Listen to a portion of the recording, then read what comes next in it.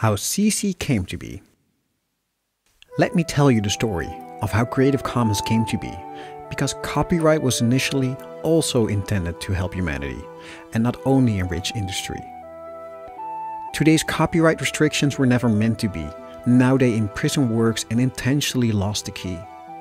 We're stuck with this monstrosity keeping works from you and me and ultimately restricting human creativity. Let's start with the Romans, who did not care to control who could copy or share. The effort to make a copy took almost as much as making the original book. The earliest recorded case law on the right to copy dates back to the 6th century. The Battle of the Book is when people became violent over the ownership of a copy of a manuscript in Ireland. Around 1400, the invention of the printing press made that anyone could print any text people's hunger for books increased as a growing number of the population could read. Forward to the Middle Ages when governments and church started mingling and who was allowed to be printing. The battle was far bigger than what someone was allowed to make. Freedom of expression was at stake. From England to Italy, France and Germany, an increasing number of works got licensed exclusively, making them protected for infringement for many years after they were printed. Just after the year 1700, copyright was established in England. Cheap books were again history, pushing the poor back into illiteracy. This also sparked a decades-long game of preventing works from entering the public domain. Then in 1774, the Donaldson versus Becket fight put an end to all the English extensions of copyright. In 1886, many countries signed the Berne Convention, putting literary and artistic works under international protection. The convention harmonized copyright amongst who signed and enforced strong minimum standards alongside. But it took another 48 years for the law to gain some morality. Authors gained the right to be mentioned and protect their work from being treated derogatory.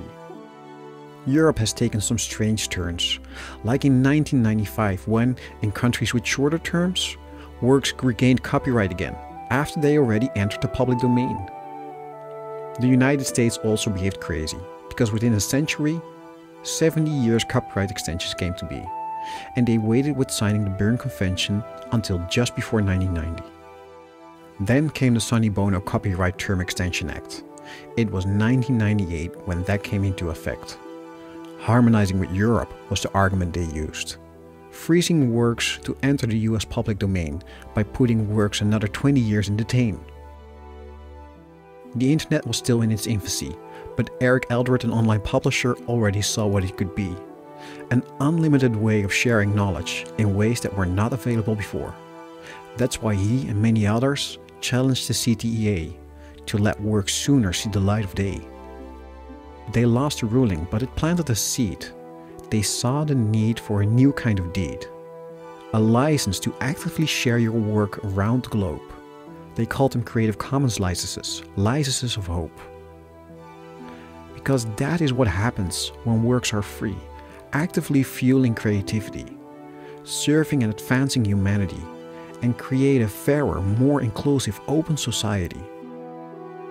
Today, Creative Commons is much more than just the licenses.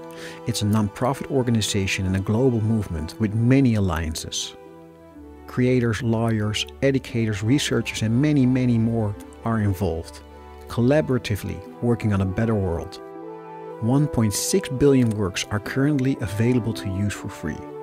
Videos, music, illustrations, texts, photography, all opened up actively, with licenses that allow or restrict the use commercially make derivatives or demand you to share your remix accordingly.